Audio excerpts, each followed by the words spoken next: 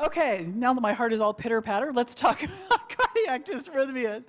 The, so this is a, good dovetail to the ACLS that we just talked about, but these are people that are alive, and we have to figure out what to do with the people that have dysrhythmia. So what we're going to go do is kind of go through ECGs, and we're going to hit the highlights of the big dysrhythmias and kind of what to do.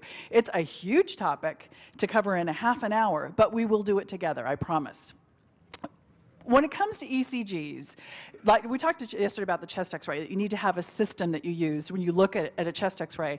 You have to have a system when you look at an ECG so that you don't miss anything on the electrocardiogram. That being said, there are different versions of it out there. This is one mnemonic that's out on the web that some people learned to go through the ECG. You can do whatever you want. There's all kinds of textbooks out there and mnemonics and things to use. The key is please look. And it is actually worth probably having calipers. We use the, basically the poor man's calipers where we take a piece of paper and just mark along the edge of the paper and kind of scooch it along and see if it works to see about rhythms and whether they're regular or not. The key to ECGs is to look at all the parts. The, this mnemonic, one of the things to start out with, which we don't always keep track of, is the age. An ECG in an 18-year-old you know, jock athlete is a very different thing. It may look really abnormal, but it's not in an 18 year old that may be really terrible if that were in a 65 year old. So the age is important. You look for those P waves, you see what they look like, what direction they are, how regular they are, et cetera. You look at the, at the, is there a QRS after every P, et cetera. You look at all this jazz, you look at the axis, and you look at all the specific segments as well. I'm not gonna drag you through this, because this isn't an, an, a, a lecture on how to read ECGs so much. You guys are good at this, but all of us feel a little bit uncomfortable with parts of it, and this is something that I think is worth going back and re, sort of retesting yourself, looking at ECGs all the time. If you don't know what's wrong, go read read about it because this is a very, very important part of what we do. This is the basics of the ECG itself. You know about the little boxes and the big boxes. The little boxes basically are, are 0.04 seconds, okay, 40 milliseconds. The big boxes is 200 milliseconds. And you have all the parts of your ECG, your P, your PR interval, your QRS complex, and then your ST segment and your T wave. All of that kind of goes together, nice flow, and things can go wrong with those. So let's go through what can go wrong. Let's start with the blocks. First degree AV block is where it takes more than 200 milliseconds for that P wave to make the QRS do something. Okay, all, that's all it is. First degree AV block, if you happen to be a marathon runner, odds are you may have first degree AV block with a totally normal, healthy, fabulous heart. It is not necessarily indicative of pathology to have a first degree AV block. Now, we do see it in people with heart disease. We do see it in people on certain kinds of medicines. Overall, it tends to be asymptomatic, doesn't usually cause much trouble at all. You want to look for a few electrolyte problems that can cause it, magnesium in particular, look for that. But overall, first degree AV block isn't that big of a deal. Okay, it doesn't really cause that much trouble. It may, down the line, if you happen to be sort of a, a couch potato with in first degree AV block, it may mean that you're more likely to something like AFib in the future. Probably not. First degree AV block is more of sort of, wow, that's interesting, let's move on. Second degree AV block is different. Now it comes in two versions. Okay, this is Mobitz 1 and Mobitz 2. Mobitz 1, which is for basically second degree AV block type 1, is where I think of it as the, as the PR interval getting tired. Okay, hello, P, P wave, QRS, excellent. P wave, come on, okay, go. P wave, okay, go. Okay, I'm just gonna go and you just relax. I'm done. It's a longer and a longer and a longer interval. So your PR gets longer and longer and longer, and then eventually the P just does its thing and the QRS doesn't pay any attention anymore. Sort of like having a fight. Eventually, I'm not going to talk to you anymore. That's that. So, the, so this, basically, this rhythm, it's called Wenckebach. It's Mobitz type 1. Lots of things will, take, will do this. Drugs are a big actor in this. So drugs are something that can cause this. But it also is, is a sign of some cardiac pathology. People often don't have symptoms with this. And this is not considered a scary rhythm in and of itself it tends to reverse itself over time. It, it's not considered a scary rhythm in and of itself. And often it's seen with vagal tone. So if you're that marathon runner who was in first degree AV block last week, you may be in Mobitz type 1 this week, but you're still healthy as a horse. In and of itself, the rhythm is, it's more in the milieu of the patient than the rhythm that's the problem. Now, Mobitz 2 is different. Mobitz 2 is basically the P wave, is charging a P QRS, P QRS, PR intervals the same all the time, and then all of a sudden there's a P wave, with no QRS. That's not good. This is considered a potentially, in fact, significantly dangerous rhythm. This is, no one should go home with a Mobitz 2. What's happening is their electrical conduction system, it may be from ischemia, it may be from inherent heart disease, it's just not responding electrically like it's supposed to. Okay, that is a huge issue. That QRS that doesn't respond to the P wave, that is a big problem. This is a much more dangerous rhythm. So Mobitz 2, which is just a P wave, everything's normal, and all of a sudden there's a P wave hanging out in space with no QRS following it, that's an issue. That's a problem. The other thing sort of about this is it, it doesn't sit, so you can be in chronic Mobitz 1. You can be in that for days, weeks. You don't tend to be in chronic Mobitz 2.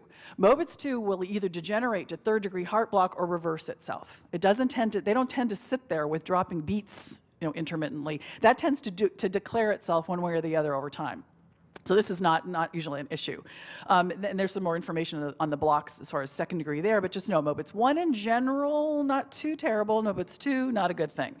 Now, third degree block, is where the, the, the, basically the atria and the ventricles are not talking to each other. They are each doing their own thing. They are absolutely not talking to each other. So your P wave is just plucking along at, let's say, 90 beats a minute. And your QRS is plucking along a wide QRS because it's coming from the ventricle, usually at about 60. That's what your ventricle likes to do, is it beat at a rate of about 60. So if you look at an ECG and you take your little ER caliper, which is the marks you make on the piece of paper, and slide it along, the P waves will march right through. You make marks on the paper where the QRSs are, they'll march right through, but they have nothing to do with each other. That's third degree heart block, also called complete heart block, and that is a significant problem. This is not usually people who are healthy. Now, it can be, but it's, it's uncommon. And it's also not usually a rhythm that people stay in for very long. It will degenerate into um, VTAC and bad rhythms it can degenerate into. This is an issue. In the acute setting, it's often seen in ischemic, ischemic events, either anterior or inferior. You can have inferior um, ischemia that can cause this. This is, this is somebody also that doesn't go home. Even if their blood pressure is fine, they're just sitting there. They often need a pacemaker, even temporary, to figure out what's wrong. Third degree heart block is a big deal. This slide is nice. This slide kind of puts them all together. The top one is first degree, or there's normal. The second one there is first degree. The fourth one there is third degree, complete heart block. Check out that third one. That third one is second degree heart block, but I can't tell you if that's type 1 or type 2. If I have a Wenckebach that's 2 to 1, so I have a P wave, and then it gets a, QRS, and then a P wave that's a long interval is dropped, P, QRS, long interval dropped. That could be Mobitz type 1. It could also be complete, it could also be Mobitz type 2. It's just not responding at all. The, the 2 to 1 Wenckebach is very hard to, to distinguish from, in fact, it's impossible to distinguish from Mobitz 2. You just don't know. Often it will change itself. Your blocks tend to vary in people that have Mobitz type 1, so watch the strip for a while. It may declare itself. If they're really sick, you're going to worry more about Mobitz 2, but just know that it's a little tough to tell the difference. A couple of things about heart blocks. One would think that if you have a one and then a two, you know, a first degree, a second degree, and a third degree, the third degree is always worse and that the first degree is always no big deal. Well, actually, it turns out the first degree in the right patient is a problem. If you have somebody who's a calcium channel blocker overdose and they have a big long first degree AV block and they're bradycardic as a result and they're hypotensive, that's a problem. In a, a jock, it's not a problem. So this is something you have to interpret all of these rhythms. You have to interpret in the setting of the patient. So there's your heart blocks overall. Now, SVT, love SVT. Having a bad day, the two things that can pick up your spirits if you're having a bad day is a shoulder dislocation, rockin' fun, so much fun, and SVT in a young person. Bingo, done, I can make it better, everybody feels good, it's quick, boom, boom, boom, boom, it's wonderful. Now, SVT technically is a supraventricular rhythm. The supraventricular tachycardia, something above the ventricle is making me go too fast. So technically, sinus tachycardia is an SVT. The atrial fib is an SVT. Atrial flutter is an, it's something above the ventricle going too fast. But the term SVT is something we use sort of in the vernacular to refer to the reentrant rhythms. The people that come in with those narrow, complex, super fast, 180 beats a minute, 200 beats a minute, you know, EKGs, they come in with this, you know, I'm, I'm having some palpitations. Yes, you are. You are having a lot of palpitations. That's what we're going to refer to in the term SVT. Just know that it's a little bit of, a, of an inaccuracy in using the term.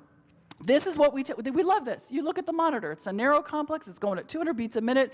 They're young, they're healthy, it's fabulous, absolutely fabulous to treat. Now, you can treat this a number of ways. Okay, you have vagal maneuvers you can do. A lot of us just pull out the adenosine. You can use that as well. That it works beautifully. Both of them do.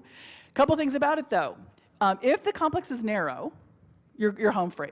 Okay, it's all good. It's going down the right pathway. It's doing the right electrical thing. It's wonderful. The problem is that some people will have an alternate pathway. Okay, the WPW patients may have an alternate pathway, and you'll have a really fast, regular rhythm that's wide. Sometimes that's hard to tell the difference between VTAC and SVT. There's some nuances that you can use, but in general, if you don't know when they're unstable, you're just going to shock them. You're going to jump start, take your PG&E bill and just jack it up. You're going to jump start them and get them cardioverted if you have a problem with that. Now, paroxysmal SVT, what happens with this basically is you want to start, if they come in like that, you can try vagal maneuvers. There's lots of things you can do. Um, you can give them a syringe, take this plunger out, and have them blow on it. That gives them basically a Valsalva. I love the idea. Bear down like you're having a bowel movement. Seriously? Seriously. We tell people that. Oh, well, let's do a Valsalva. Let's, why don't you just bear down like you're having a bowel movement? People just make faces. They just go, that's not, that's not a Valsalva. If you really want them to do a Valsalva, give them a syringe, take the plunger out, have them blow on it. A 3 cc syringe is the best for this because they have to generate a lot of pressure to do that. They Valsalva. That's a way you can actually get them to do a Valsalva. You can have, you know, blow on their finger, all kinds of crazy stuff. But that, those can work. The vagal maneuvers can work. You can do carotid sinus massage, but I have to tell you, be careful in an older person with that. And what's older is up to you. It's me plus 15 years, but the reality is I don't want you pushing on mine either. The, what you don't want to do is break off a plaque and have somebody suddenly end up hemiplegic with a nice normal rhythm because you've broken off a plaque and caused a stroke. So put, pushing on the, on the carotid sinus isn't a great idea. And what most of us do is grab adenosine. Go ahead and grab it, give six milligrams. If it doesn't work, it doesn't break them right away, then give them 12. It has an eight second half life. Y'all are used to using this. You have to basically push it with the flush as close to the heart as you can, and then the patients basically go, Because ah. technically, you're killing them for a very short amount of time. You're shutting down the system and you're rebooting and you're basically technically killing them for a short amount of time. And it does cause chest pain. Some people will tell you, last time you guys gave me that stuff, I don't want it. Do anything else you want. Shock me, that's fine. I don't want it. So know that the adenosine, some people really hate it. You have to warn people that it's gonna make them feel really weird and it may give them chest pain. And we know how to, we all know how to use it. Now you can slow people down. You can give calcium, we used to use verapamil all the time for this. You can slow them down with things like calcium channel blockers. It doesn't really break them as well though as something like adenosine does. Now if they're unstable anytime, they get jump started, okay? Boom, electrical, that's what they get. If someone handed you this ECG after you took your own pulse and had your own little episode of chest pain, having this handed to you, if this person were unstable, you're going to shock that person. I don't care what that is. I don't care if that's SVT with aberrancy or if that's ventricular tachycardia. If they're stable, now you have some time to think about it. Okay, you don't have to necessarily, and if they're stable, you can go ahead and give something like adenosine and see what happens. Turns out this was SVT. Okay, this is a case of actually SVT with somebody who had an aberrant, you know, they had a bundle branch block. And so it's what it looked like. But if you're unsure ever, please shock them. Now, AFib, the, the list of things that could give you AFib, AFib, aflutter, but AFib in particular, is just enormous. It's anything from toxic to metabolic to inherent cardiac. There's lots of things that give you atrial fibrillation, and there are a whole lot, valvular disease, lots of people out there with atrial fibrillation. So the list is legion. It's really, really long. Fib and flutter, though, are two different entities. They're sort of like cousins, but they're not the same. What atrial flutter, you'll see atrial, in fact, I suspect there are a few people out there in the casinos who've been drinking a bit too much who may be in atrial flutter. Because you see this in people who, do who have alcohol. It's holiday heart. Okay, they come in with atrial flutter. Alcohol does this. Um, you can have people that have congestive heart failure have this. Hypertension can do it. Lots of things do this, but this is a, and this is not a stable rhythm. This is something people don't stay in atrial flutter forever. That's those sawtooth flutter waves where your atrium is going at God, poor thing. It's going at 300 beats a minute. 300. And then your ventricle decides to respond every, oh, let's see, every third, every fourth, every fifth. You'll often have a, a, a two to one, three to one, four to one block.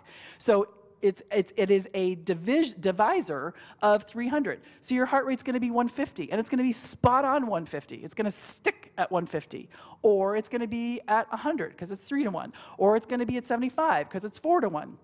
The, the, heart, the, the rates are almost always spot on a divisor of, of 300, some, some part of 300. If it's irregularly irregular, that's usually just atrial fibrillation with big, huge you know, fibrillation waves. It's not usually flutter. Flutter is usually really regular and spot on at, at that rate. Now, treating atrial flutter, I'll tell you, most of the time, all you do is sit and watch them. Okay, just let them sit because it doesn't stay there. It goes if they're not that symptomatic, their blood pressure's good, they're doing okay, no chest pain, let them sit. Okay, let them sit. It will. It usually goes away. If it's alcohol related, it usually just goes away. They go back into sinus rhythm at some point. If they're unstable, then you may need to do something like cardioversion, but overall you don't. Okay, overall, this one's kind of a boring rhythm. Atrial fibrillation is a little different story. We, our, our job in the emergency department with atrial, patients with atrial fibrillation is not to make their heart normal. It's to make their heart slower. Most of the time with atrial fibrillation, our concerns are when they end up with congestive heart failure because they're not filling very well, because it's too fast, your heart rate's too fast, or they end up with, um, an, uh, they're having chest pain, they're hypotensive, something along those lines where we want, we want to bring that rate down. You can, if somebody has atrial fibrillation and they are in pulmonary edema, they're in refractory chest pain, they're hypotensive, you may need to shock somebody in atrial, atrial fibrillation. And please don't hesitate if that's the case. They're unstable and you think it's from that atrial fibrillation, please shock them. There is always this concern of, well, if they're in atrial fibrillation, what if there's a clot in there? And then I shock them and they go into sinus rhythm, they throw it off and they have a stroke or they get ischemic bowel. You know, I don't want to do that. Well, they're going to die of the hypotension associated with their AFib if they're that unstable. Fix it. Try to convert the rhythm. But most of the time, that's not what we're doing. And most of the time, what we have is somebody who says, I'm having palpitations, or I can feel my heart rate's too fast.